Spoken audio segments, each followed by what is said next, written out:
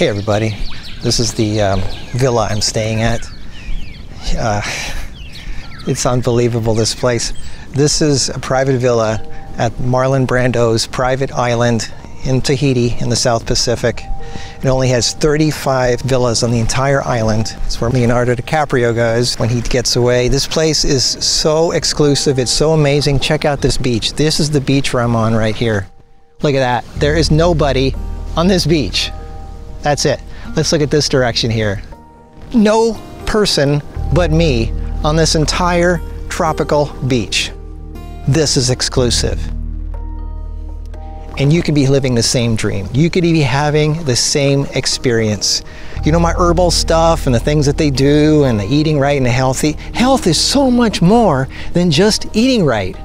Health is this. It's success. It's happiness, it's relationships, and having the power, the ability to do what you want to do in life and to make great differences in the world. And I'm going to show you how to do it. That's what my channel is about because this is easily obtainable by anybody who's willing to do it. There, the, the world is full of people who started in poverty with nothing, who lost everything they had. I lost everything I had three times over. You know, I'm going to give you the secrets of life but the funny thing is, the secrets are not even secrets. They're all around you. It's everywhere, it's all around you. The trick is you have to see them. You have to recognize them. You have to be able to see something as a tool to help get you out of where you're at to where you should be and you belong. And that's where most people fail. All they see is bad stuff. All they see is bad situations and sucky situations where they go, I'm a victim. There's nothing I can do about this. You know, the rich have it lucky. First thing you got to do is get that out of your mind.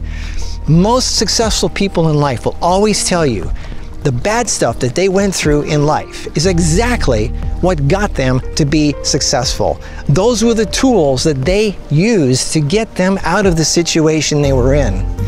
So that brings me to the difference between successful people and unsuccessful people is the way they think. Because what you have in your life, no matter how bad it is, do you see that as a tool? Do you see the opportunity? Or do you just see a bad situation?